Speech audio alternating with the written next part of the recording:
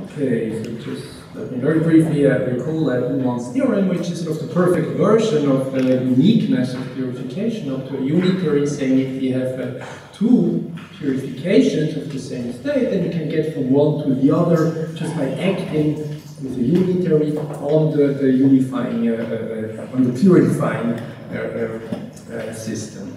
And we're going to use that to prove the impossibility of quantum bit commitment. I don't know how familiar you are with uh, uh, concepts like commitment, so very briefly, a commitment, uh, likely a commitment scheme as a digital analog of putting a message or, a bit, because a bit commitment scheme, into a, a vault and then revealing uh, uh, this message uh, later so that it has the following characterizing properties. The hiding property ensures that as long as I don't open the vault, I mean, you don't get to see the message that is inside, but on the other hand, the binding property ensures that once the vault is on the table, I cannot change my mind anymore. Once I decide to open the vault, I may decide not to, but if I open the vault, then you're ensured that the message that you get to see inside is the message that I had originally put into uh, the vault.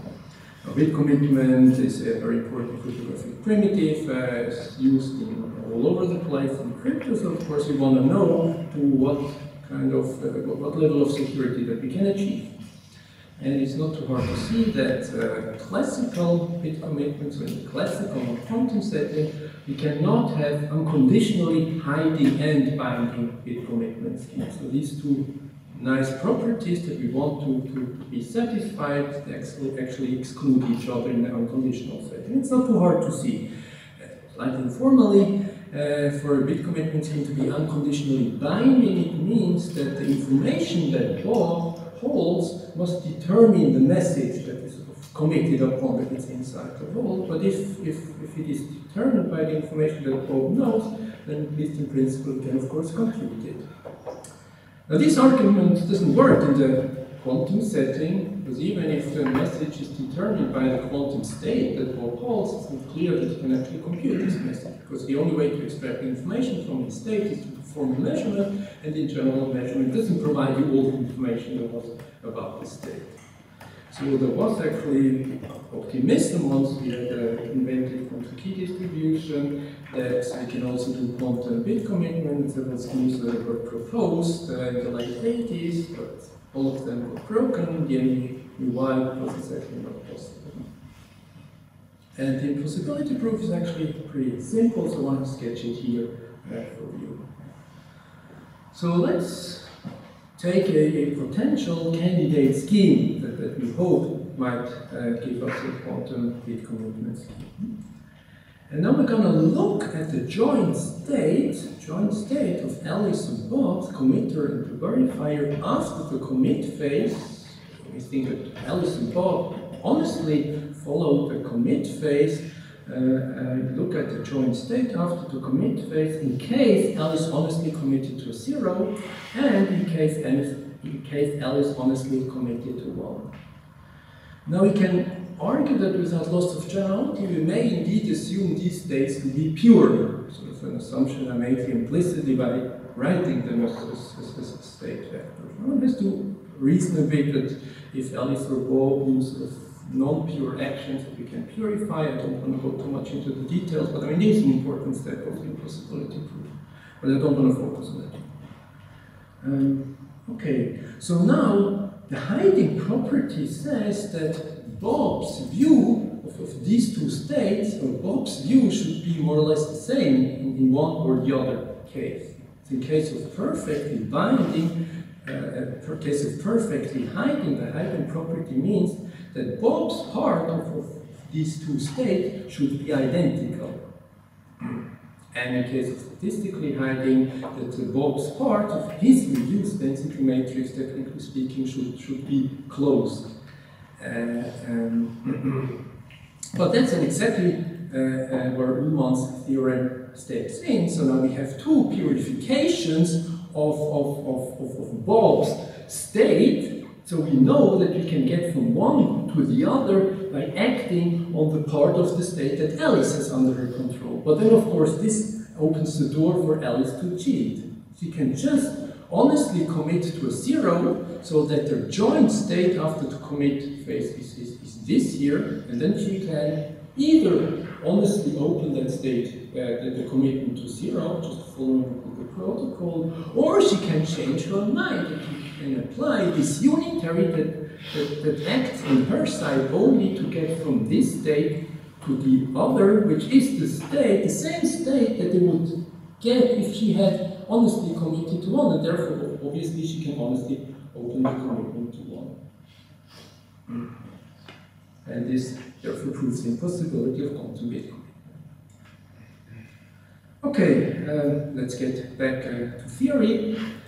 Okay, so what I want to do now is the following. So far, we've carefully distinguished between classical information and quantum information. Like quantum information, polarization of a photon, which is described by a state vector, or now with a density, density matrix, for instance. And classical information, like sort of the measurement outcome, the thing that you get to see on your measurement device, and um, you, measure a quantum state and usually capture this just by writing sort of an element from some set here. Now what I want to do is I want to use the quantum formalism to also talk about classical information. So that classical and quantum information are not two distinct concepts anymore, but classical information is just a special case of quantum information. And the way I'm going to do it is, is as follows. So, I mean, I, start with, with a finite non-empty set, and, and I understand an element from that set as, as classical information, but now I want to use the quantum formalism to capture this classical information. We do it as follows. So choose a, a Hilbert space of suitable dimension, a fixed orthonormal basis of that Hilbert space where I label the basis vectors by the elements this finite set, and then just identify, identify such an element from the finite set with the state that is described by this corresponding state vector here, or if you want, you can also describe it by the, by the density matrix. Note that holdings of the classical piece of information holding the classical x is equivalent to holding the quantum state described by the state vector x here. Why? Well, I can just recover the classical x by performing a measurement on that quantum state. I can just measure that quantum state in that basis and it will give me the classical x back. So it's really equivalent uh, uh, uh, to, to use sort of this quantum formalism to capture classical information. And it will be very convenient to have sort of one formalism that captures not only quantum but also classical information, as you will see. Now this extends naturally to case of randomized classical information where we don't have sort of a fixed piece of classical information but sort of, sort of something randomized because I can just look at the corresponding density matrix because I mean first I, I go from, the uh, I write of the classical, the randomized classical information as a randomized quantum information, but I know how to take care of randomized uh, quantum information by means of the density matrix formalism, concretely by writing down this density matrix by taking this convex linear combination of, of these uh, uh, randomized pure states. And I can even go further and describe of a hybrid situation when I have randomized classical information and quantum information that depends on the classical information using this quantum formalism. I can capture such a complex situation and a bit sort of annoying situation to write down this way just by means of one big density matrix like this This big density matrix expresses now, using the quantum formalism, that I have some classical x that appears with probability px, and I have some quantum state that is then described by this density matrix rho x here which is very nice because it's a very neat, compact mathematical object that now describes this sort of complex uh, situation. Now let me apply this to a particular example, of example, uh, uh, uh when we measure a, a, quantum state, because that does, gives us a situation where we observe classical information in a randomized way, and we still have to post-measurement state of the state to which the measured quantum state collapses.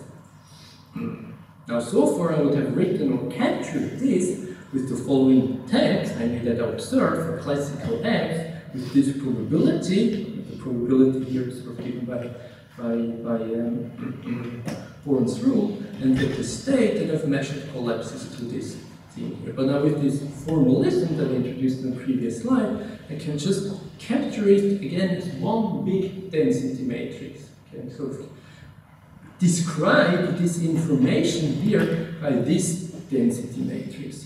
Now plugging in choices for px, rho x up here, noting that the px uh, cancels out, I actually get sort of this very nice compact description of, of, of what happens when you perform a measurement. Again, it's sort of a description now very neat, or much neater than before, mathematical description of sort of this physical action of performing a measurement. Okay, now I'm going to further rewrite this expression, and you'll sort of see in a minute why I actually want to do that, because uh, it's going to look less nice the way I rewrite it now, but uh, you'll see in a minute why I actually want to do that. So I can rewrite it as such a sum of, yeah, I call that sandwiches of, of rho, uh, meaning that I have something acting on the left on the rho and, and it's a joint acting from the right uh, of rho and sort of a sum over such sandwiches. There's some additional thing that you can work out. If I put sort of these sandwiches the other way around, with no rho in between, and add them up, I'll, I'll get the identity. It's not that important uh, to understand uh, actually why this Very important is uh, that I can write sort of the situation after the measurement by this sort of density matrix here, including the classical measurement outcome and sort of the, the, the state which the quantum state has collapsed. All this information is sort of captured by, by this sum over sandwiches of, of rho. Okay, now for now I just use this sort of motivation to write down a, a general definition. So I call a map E that, that maps an operator to another operator, or matrix to another matrix. I call such a map a CPTP map, and the terminology will become clear later. It also be referred to as a quantum channel or general quantum operation. If it is of the form as we had on the previous slide, if it maps a, a, a matrix R to such a sum of sandwiches of R, where I want to have this additional constraint that if I put this, the layers of the sandwich upside the other way around and add things up, I get the identity. Okay, sure, can, can write down such a definition. We've already seen one example namely performing a measurement, can be captured by such a CPTP map for, for specific choices then of, of, these EIs. So we've seen one example of such a CPTP map. um, we've seen other examples actually, um, applying a unitary uh, uh, is also a, a CPTP map. So for a special case where the, the sum it just boils down to one. I mean, there only one term in the sum. And note that sort of this property is satisfied because U dagger U, by definition of, of unitaries, is identity. There are other examples. Going sort of from, from, from, a, from a quantum system to, to a bigger system by sort of appending another system in some fixed state. Formally written like this uh, is, this is also a CPTP map. So like I'm in a have sort of a quantum system, and I, well, next to it, independently prepare some other system in some fixed state, and I will look at the joint system, also this action I can describe as a CPTP map. And last but not least, another example that we've already seen is actually CPTP map, namely the partial trace. Sort of the opposite of going into a bigger system and going to subsystem, sort of throwing away part of the system, not looking at the other system anymore, putting in the rocket, send it to the moon, never going to encounter it anymore. Also, this is captured by CPTP. I mean, maybe not fully obvious, but not, not hard to, to, to work out. So this means, I mean, they sort of pretty much capture, not only pretty much, they really capture everything that we can do with the quantum system. Apply unitary, we can go a bigger system, apply unitary there, can throw out part, can perform a measurement. Everything is captured by a CPTP map. And vice versa, I'm going to see that on the next slide also, uh, the, the, the, the converse holds. Every CPTP map actually corresponds to a sequence of these elementary operations that we can apply to a quantum system. So really CPTP maps is the mathematical object that describes uh, the most general quantum operation that you can apply to a quantum state. The most general evolution that a quantum state may undergo is mathematically described by a CPTP map.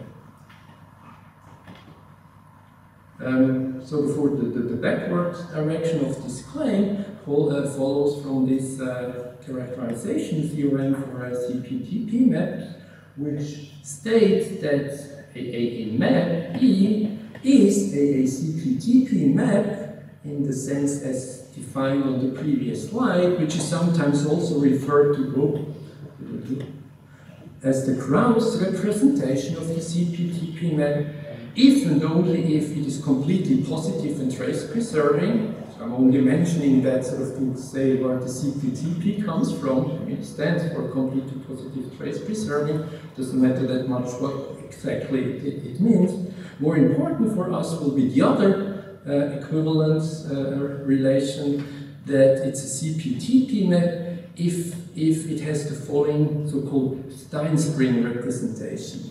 Now you don't even have to bother to look at this sort of a complex uh, way of writing this down, just look at this big picture. So E is a CPTP map, if it can, if it can be sort of implemented by the following sequence of elementary quantum operations. We take our quantum system, we go into a bigger system by preparing sort of two additional systems in some default state. Here, so I wrote here zero. It doesn't mean they have to be bit states, they can also be bigger systems, but prepare them in some default state. I apply a unitary to this big system, and then I throw away part, I trace out part of it. Again, very informally, the CPTP map, every CPTP map is the following form. Take your inputs, think of it as a quantum system. You go into a bigger system by preparing additional systems in default state. You apply a unitary to the whole thing, and you throw away part of it, and you keep part of it and take this as output. So every CPTP map is of that form, and vice versa. Everything of that form, so seen that on the previous slide, is a CPTP map. Okay. Um, Anne already talked about no cloning and uh, she's proven that no cloning is not possible by means of Uh, unitary transformations, but you can do more on the quantum state than applying unitary transformation. You can go to the bigger system, you can perform a measurement, you can throw out part of the system. So I mean, what she's proven doesn't really show that that that that no cloning is not possible. Only sort of shows that no cloning is not possible in that less expressive formalism of, of pure states and, and unitary operations. Since the most general operation that you can apply to quantum state is a CPTP map, I mean, you have to prove that it's not possible to clone a quantum state by means of a CPTP. That's what I'm going to do now. Um, so the statement, the formal statement is the following. Let E be a, a CPTP map, uh, so representing the general quantum operation, and I take two states, phi and psi, and then the following holds if E applied to phi produces two copies of phi, and E applied to psi produces two copies of psi, so E succeeds in cloning both phi and psi, then either phi and psi are the same, either we're just talking about one single state, I mean copying one single state, I mean this is actually possible because I can just prepare this state over and over again, or the two states must be orthogonal. And indeed, of course, I can copy orthogonal states. I mean, if, I, if, I, if I'm given a state and it's either this one or that one, then my task is to copy it. Well, what I do, first I perform a measurement to distinguish. First I perform a measurement tells me which of the two states it is. If they're orthogonal, I can do that. I can just measure sort of basis that is given by those two orthogonal vectors. And then again, when I know what the state is, I have to clone them, I can do that. So this, this proves that only orthogonal states can be copied. I know that orthogonal states can be copied, but as soon as we're talking about non-orthogonal states, they cannot be copied. Um, yeah, maybe I'm not going to go through the proof line by line. Essentially what we use is we're going to use Stinespring's representation of, of CP-TP maps, which pretty much brings us down then again to the pure state formalism with, with uh, unitaries. Uh, um, and then we're back in, in uh, Anne's case. So uh, yeah, not go through that line by line, but let me mention that so the main ingredients of, of the proof, which allows to reduce the proof to the case that we've already seen in Anne's talk, is Stinespring's representation of CP-TP map and also the uniqueness of purification. And if you replace sort of the uniqueness of purification by sort of its approximate version, and its Uhlmann's theorem, then we get sort of a bit of a stronger result that says that not only perfect cloning is not possible, but also approximate cloning is not possible. I mean, formally the statement will be that if you have a CP-TP map that manages to clone two vectors phi and psi approximately, so that they get approximately two copies of phi here and approximately two copies of psi here, then the two states must either be close or almost orthogonal. Okay, um, again, back to theory. There's sort of one last concept that I want to introduce and, and briefly discuss in my lecture here, and that's uh, a, a distance measure for states. I'm going to introduce a, a distance measure for states that will have sort of the nice property that it tells us how similarly or not two states behave. So that has the properties of the property that you would expect from a distance measure, but you have to find one that really satisfies this property. That if two states are close according to this metric, then they behave in a similar way. If they're very, very close according to this metric, they behave essentially the same way for all practical purposes. And if they're far apart, according to this metric, then they may behave very differently in the sense that under certain actions they do behave very differently. Okay, so the distance measure that does its job is the so-called trace distance. I'll first start introducing a trace norm. And so the trace norm of a general Hermitian uh, uh, operator is just the sum of the absolute values of the eigenvalues of, of the Hermitian matrix. The Hermitian matrix has a full set of eigenvalues. If we count uh, with multiplicity, if we count them with multiplicity, and the trace norm is essentially just the one norm, the usual one norm of the list of eigenvectors. Of the, the matrix operator. Um, if we take a, a, density matrix, now a density matrix, the eigenvalues of a density matrix are non-negative and real, it follows from the positivity of the, of the density matrix, and they add up to 1, trace of the density matrix is one, and the trace is the sum of the eigenvalues. So the trace norm of the density matrix is always one. So applying the trace norm to density matrices is not very interesting. Things become interesting when we apply the trace norm to the difference matrix we get when we take two density matrices. I mean, this then, of course, gives us a, a metric, a distance measure, um, which we call the trace distance. Now there's some normalization factor here, but that's not so important. Okay, so far it's just the definition.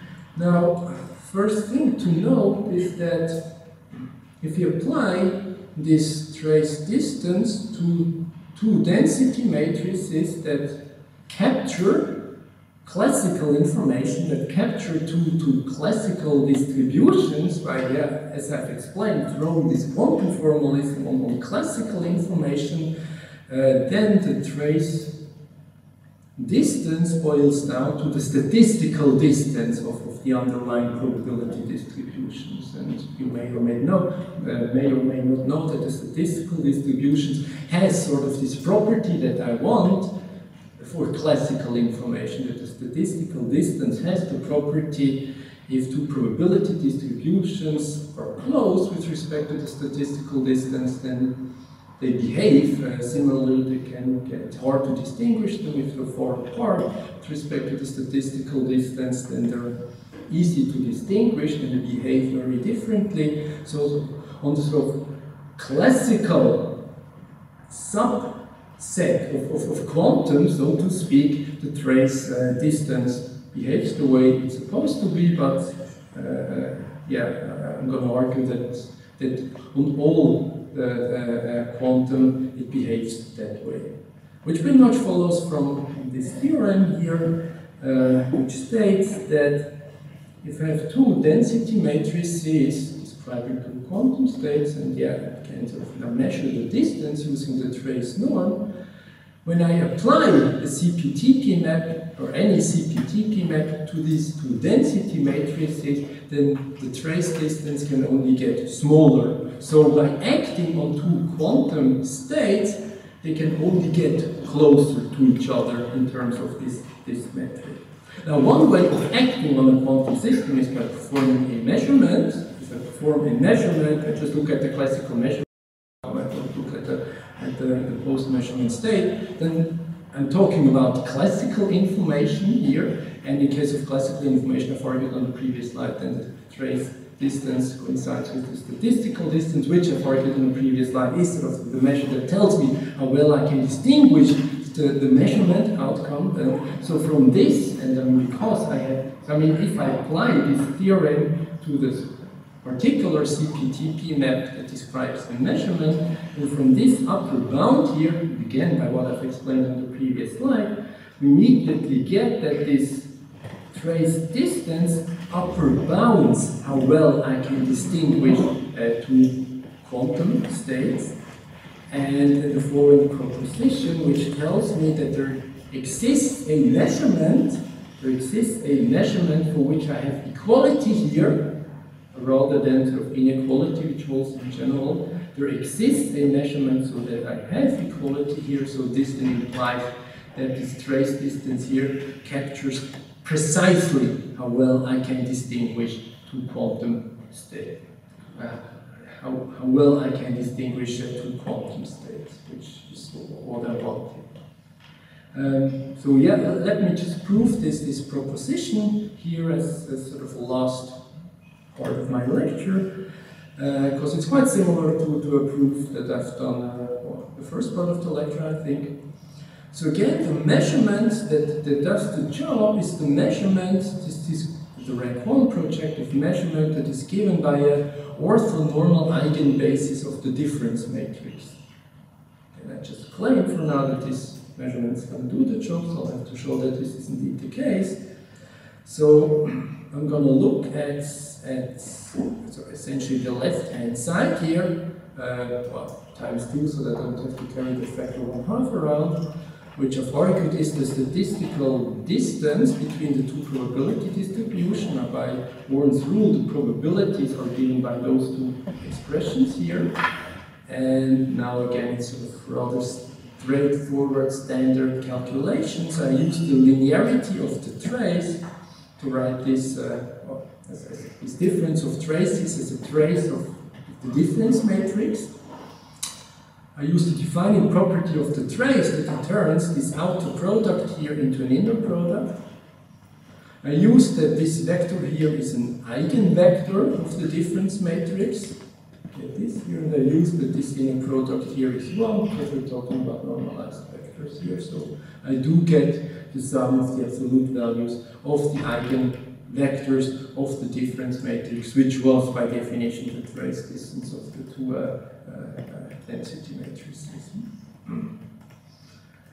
Okay, so this pretty much uh, concludes my lecture. Just let me summarize uh, kind of the, the, the take-home message of, of this lecture. Um, important thing to realize is that we have mathematical formalisms that describe and tell us how they behave, uh, uh, quantum states and quantum systems, and depending on the context, we may use the state vector formalism, which sort of easier to think about and to deal with, but it's less expressive. It doesn't work, can, cannot use it in all the cases. Or we can use the density matrix formalism, which is more general, but also a bit harder to work with.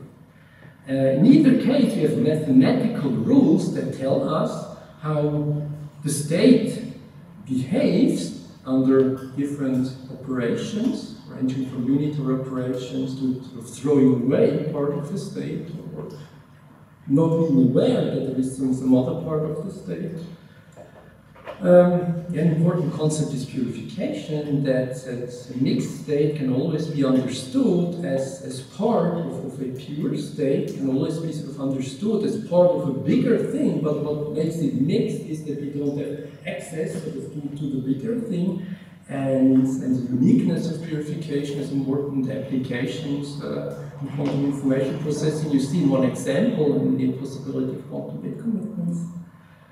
Um, we can capture classical information using our formalism for, for, for quantum information, which uh, allows us to somehow describe complex situations with certain probability or observe some classical measurement outcome and the quantum state collapses to some post-measurement quantum state, just as one sort of big uh, density matrix, just as one nice mathematical object that we can work with.